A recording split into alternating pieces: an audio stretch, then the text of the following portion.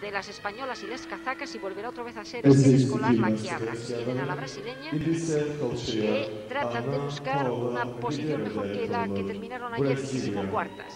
Ladies and gentlemen, please welcome Ana Paula Ribeiro, representative of Brazil,